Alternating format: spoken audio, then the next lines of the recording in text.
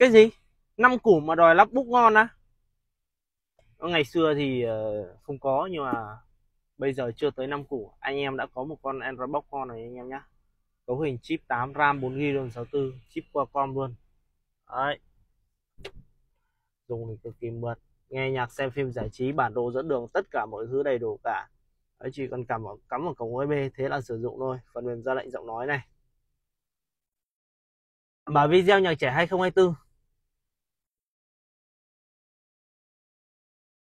đang mở video nhạc trẻ 2024 Ui giời chạy nhanh như ăn cướp luôn. Anh em thấy chưa? Bản đồ dẫn đường đi. Dẫn đường tới sân bay nội bài. Đang chỉ đường đến sân bay. Đấy, anh em chạy cái bản đồ về Mark 2 này đi không bị lo quá tốc độ đấy nhá. Có cảnh báo tốc độ cảnh báo giao thông cho anh em. Hỗ trợ cho anh em đi rất là tốt Đấy, mở cả kênh vô tuyến nữa. sử dụng cái phím ra lệnh giọng nói trên vô lăng được anh em nhá. Mở kênh VTV1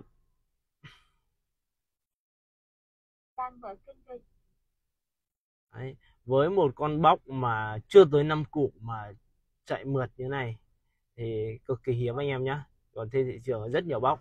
Một con ờ, em đánh giá con này dùng khá là ổn. Đó. Đấy ngoài ra thì anh em có thể tải thêm tất cả các ứng dụng trên CH Play. Đây TikTok hoặc tất cả mọi thứ anh em có thể tải đây và các tính năng zin uh, trên màn vẫn giữ nguyên nhá. Đó. Không mất một cái gì cả. Sử dụng đấy. Với những cái đời xe mà từ dòng tầm 20 21 đổi lên có Apple CarPlay thì anh em chỉ cần sử dụng bộ này cắm vào thì là sử dụng thôi. Rất là đơn giản khi mà anh em chuyển đổi xe cũng chỉ cần rút ra, chuyển đổi sang là xong. Và hiện tại giá thành nó cũng đang rất là tốt. Anh em mà quanh khu vực Thái Nguyên cần tìm hiểu cũng như là tham khảo về cái sản phẩm này thì em mời qua Akala Thái Nguyên nhé.